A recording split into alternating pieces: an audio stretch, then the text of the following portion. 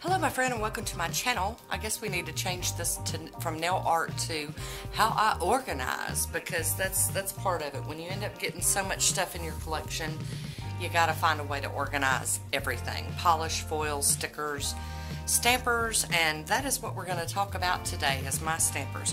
I had, um, for years and years, just kept them in little Tupperware containers that were like this big.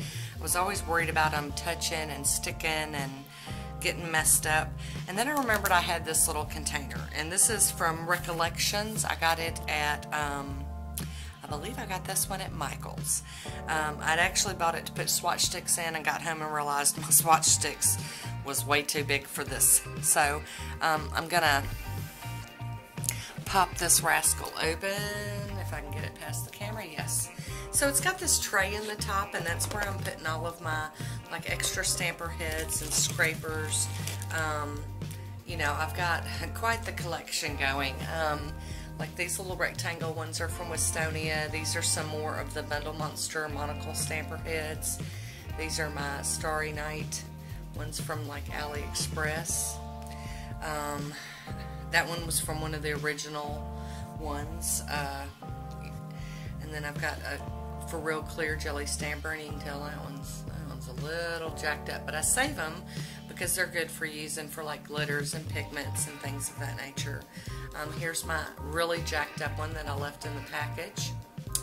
I don't know why I save it. Why do we save things like this ladies? Can you let me know? I, I don't know. I left it in the bubble wrap package that it came in and this is what happened to it got totally disoriented.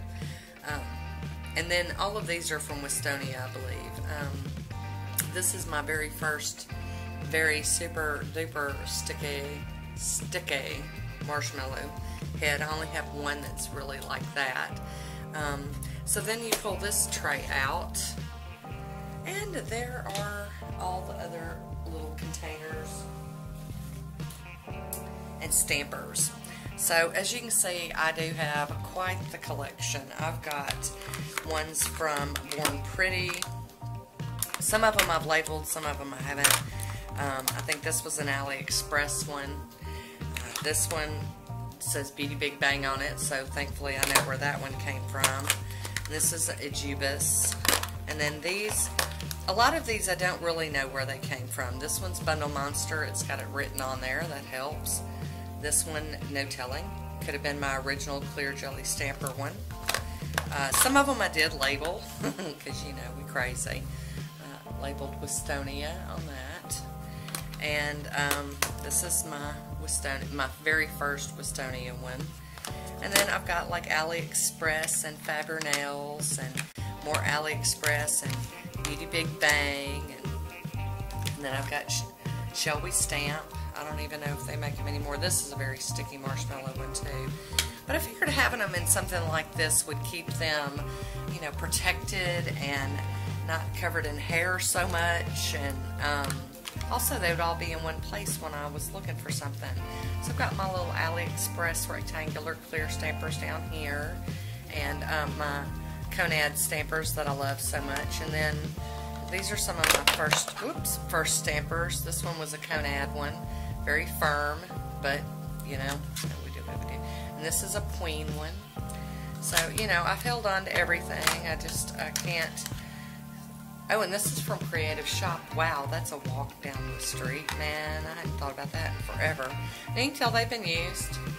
But I do get hooked on stampers. I'll get to where I use, know, one, one will sit out on my desk, and that's what I use, and I use it, and I use it, and I use it. And Right now I've got three out on my desk I can see. Um, the Maniology one that I've been using and a couple of these clear ones from AliExpress.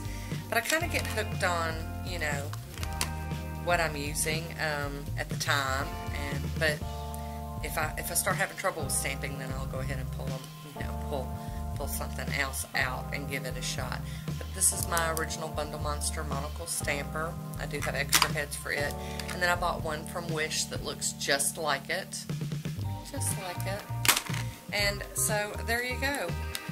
Bunches from AliExpress and, and everywhere. So I just wanted to share that with you, how I came up with the idea to, you know, kind of rein in my collection and get it organized. I hope, I hope that this maybe helps someone.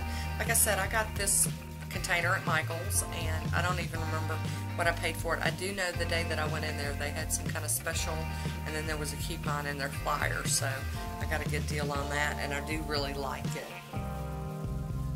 I love that it's got that flat tray for storing the flat items in and you know it just all fits in there nicely. Oh and look at this little teeny one. This one goes to that pencil stamper which is not in here. Uh, it's also got a cleaning brush on the end of it so that's probably why that one's in there. So that is it for my show and tell today. I hope you enjoyed this one. Leave me a comment down below and let me know how you store your stampers. Um, if you see this as excessive.